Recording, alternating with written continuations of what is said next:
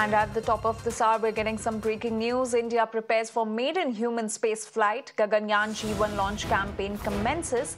ISRO begins assembly of a launch vehicle, HLVM-3 being assembled for first uncrewed flight. Gaganyaan G1 scheduled for 2025. So that's the breaking news that's coming in.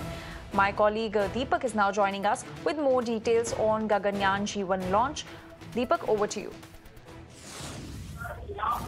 Well, in the past, I've spoken to uh, the chairman of ISRO, who of course has confirmed this, that there is a plan uh, to launch this unmanned mission in 2025. Uh, the importance of the unmanned mission here is that everything on the system front will be the same as a manned mission. The only difference here is that of course, will, uh, the astronauts will actually not be on board the spacecraft, considering the fact that this is India's first manned mission. They want to ensure that the systems are in place and if there are any sort of loopholes, they are fixed in this unmanned mission.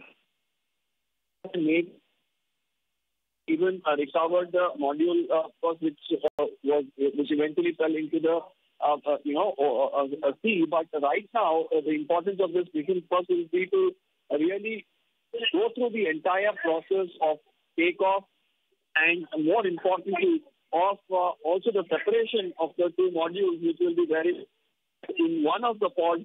Uh, you know, our Indian astronauts are going to uh, be there. So this is something that they're going to do in 2025. Confirmation now coming in. This is going to be the HLVM-3, uh, an evolution of the LVM-3 rocket, and it's uh, specifically designed for, for human spaceflight.